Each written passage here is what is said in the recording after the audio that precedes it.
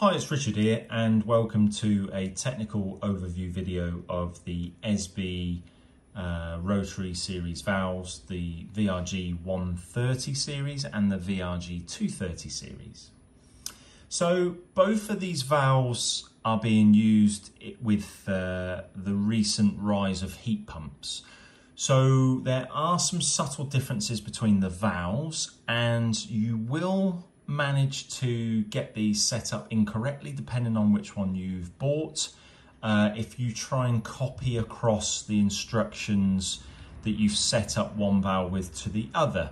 So I'm going to cover those key points with these valves and some setup hints and tricks that you guys can use to make sure your ESBE valve installation is as simple as possible. So first of all, I'm going to start with the uh, 130 series valve. So this is a VRG 131 valve, which basically means it's a threaded type valve, but it's a, it's a 130 series valve.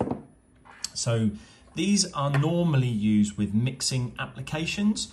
However, they can be used as a, as a diverter application. Um, and some of the advantages of using these for a diverter application is that you don't have to have the input in the center of the T, which can help uh, with piping these up um, if you have a pipework orientation of heating or hot water out the top or heating and hot water out the side. So rather than uh, having a T, which you then may have to pipe upwards after coming out of the T, you can actually have that like that or even like that. So basically you can have input, output, output, or if you flip it around the other way and change the rotary position, you can have input, output, output. So you can have your output to the right or you can have your output to the left, like so. So it doesn't matter whether it's right or left, okay? But it is very important you get the shoe in the right position. So if, for instance, we were taking our input in this valve in the square, we would need to make sure that the, the lug that's missing off the center castle is between the two points that we wish to, we wish to actuate um, between. So you can see that lug there is on a 45, we would need to point that there, okay? And that then would mean the shoe is in the right place to actuate between the top and the side outlet.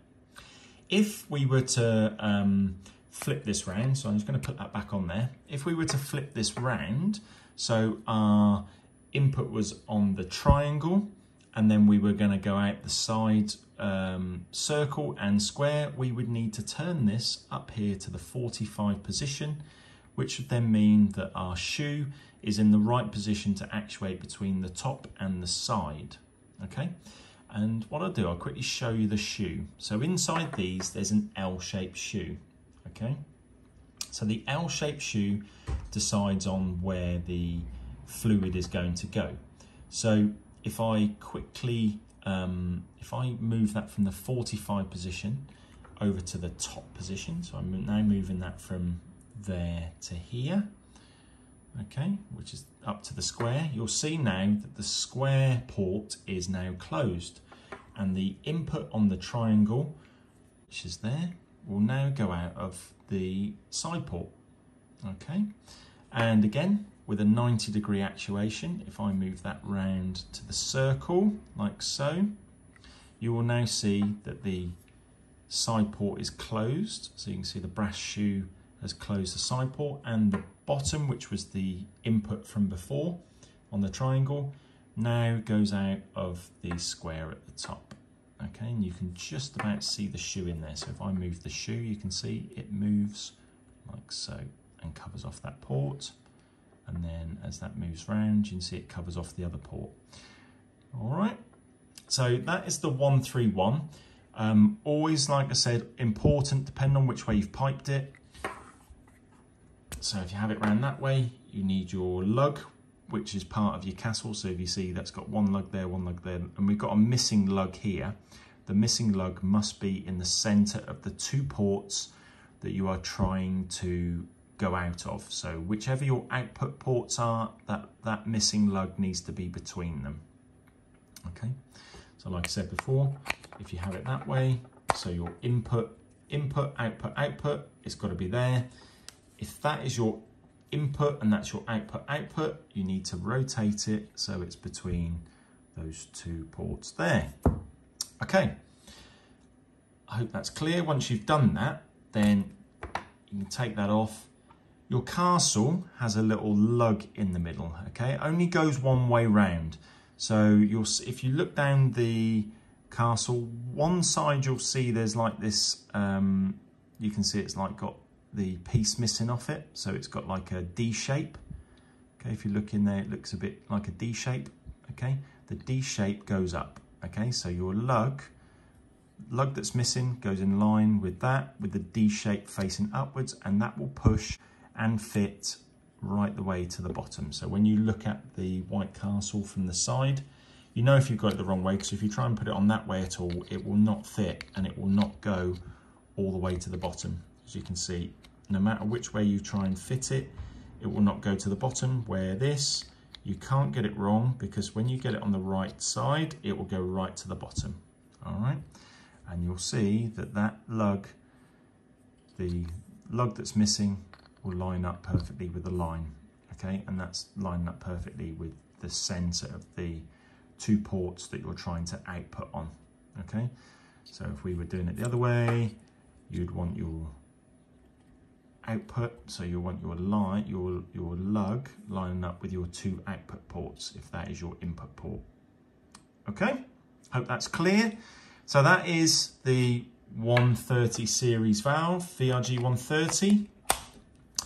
Okay, I can't do much more on that at the moment without the actuator, but I'll do a second video with the actuator, okay? So the big difference between the 130 and the 230 series is a 230 series has a T-shaped shoe. These have like an L-shaped shoe in them. These have a T-shaped shoe. So with a 90 degree rotation, it will close off um, this port. And if I go across 90 degrees, it will then close off this port.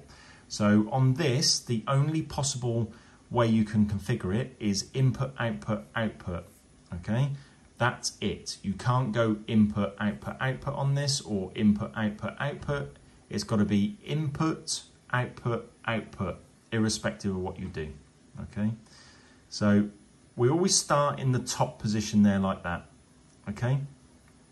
So then depending on which way you go, so you can pipe either of these up. So you can have your hot water coming out of this port or your hot water coming out of this port and your space heat in the opposite port. This is always your, so the circle on the 231 valves, okay, so this is a, sorry, a 230 series valve, so this is a 231. Um, but on the VRG 230 series valves, this is always your input. So this for instance, would be from your heat pump into the valve. And then this would be your output for space heating or domestic hot water. And this could be your output for your space heating or domestic hot water. Obviously, you would only choose one or the other. But to start with, you always start at the top. And the reason being, and this is where it goes wrong, okay? So when you're with this, you always start between your ports, okay? Your output ports. With this, you always start at the top. Okay, if you've got it round like that, or you've got it here, or you've got it over here, like that, you've got it in the wrong position. With the 230 series, you must always have your lug on your castle, your missing lug. So you must have your missing lug to the top, okay, top of your T when you start with these. And then when you put your actuator on, I'll show you how to do that afterwards. You basically put your actuator on and you'll always be in the right position, okay? So if you start with that at the top, Again, the castle, like I said, only goes one way. When that goes on, the castle position, the cutout in it goes up to here, okay? So the cut it out of this, uh, like this white castle that you put on, always goes to the top of the 230 series, and that's where you start. If you do it any other way, you'll get it wrong, okay? So that's a quick overview of the valves. Um, I'm not going to do much more on this now. I'm going to cut this at about 10 minutes, this video. So that is the 231 series and the 131. Uh, so 130 series, 230 series, the, the same rules apply, irrespective of what valve you get out of the 100, the 130 series or the 230 series, the rules are the same. If you have any questions at all, please ask on the video. If you um, haven't already followed my channel before, if you like and subscribe to my channel, and also if you hit the bell icon, whenever I do any videos like this, you'll be notified of the videos that I do. I do try and do technical over video, uh, uh, overview videos for uh, products because a lot of the time either the manufacturing structures are difficult or other people have gone online, told you how to do it and it's either not been clear or they've made mistakes or not fully explained why. Uh, we try and do videos that fully explain the products and uh, then give you the information how then to install them or fit them correctly. And we also follow up on the videos. If you've got any questions or anything like that, more than happy to uh, help support uh, those questions on the video. Uh, obviously, we, we are ESBE distribution partners for the UK. Um, so Mid Wales Plumbing Heat Supplies, which is the company that I work for.